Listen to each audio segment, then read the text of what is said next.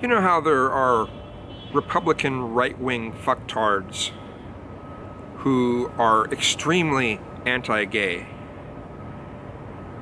who get caught in bathrooms with their wide stance because they're trying to solicit for sex in public restrooms, right?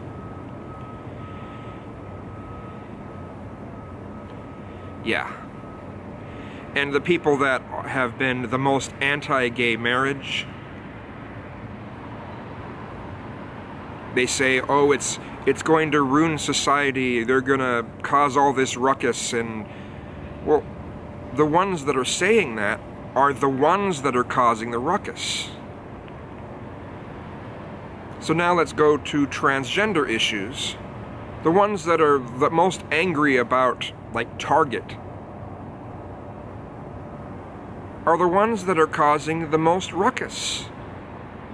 We've got some groups that are that are going into Target purposely, just guys going right into those restrooms, saying, see, oh, they're trying to make some sort of point. No, the only point they're making is that right-wing fucktards are right-wing fucktards.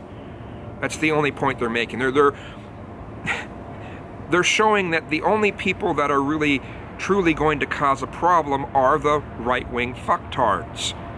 Most other, just about everyone else, they just want to use the goddamn bathroom. Or a changing room, you know?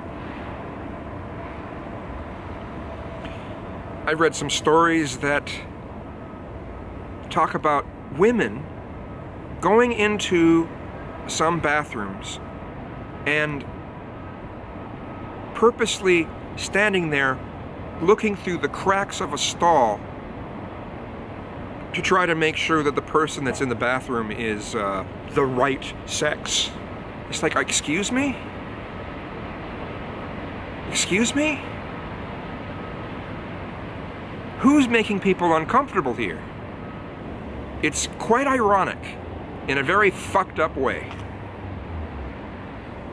The ones that are making the most big, biggest deal about this are part of the demographic that are actually making the people uncomfortable. Cis people and trans people. And I think what, what pisses some of these people off about the, uh, the transgender bathroom issue is a lot of these people secretly want to be able to go into bathrooms and look at people of the opposite sex. That's what they want to do. And it pisses them off that uh, some people get to do that uh, because they're transgender. And I'm not saying that that's what transgender people do for any sort of sexual anything. They just want to use the bathroom. They just want to change their clothes. And because they don't feel transgender is a valid notion, um, they get jealous. Because that's really what they want to do. So it's kind of the same thing as when people are the most anti-gay, they're usually gay themselves. So that's why for me, I just think bathrooms should be bathrooms. Changing rooms should be changing rooms. It shouldn't be based on race. It shouldn't be, you know, broken apart based on race. It shouldn't be broken apart based on gender. They're just fucking bathrooms. They're just changing rooms. And if that makes someone that uncomfortable to to be in a bathroom or a changing room with someone of the opposite sex, well, you know, maybe we need to get over the human body a little bit more. Maybe we need to grow up a little bit.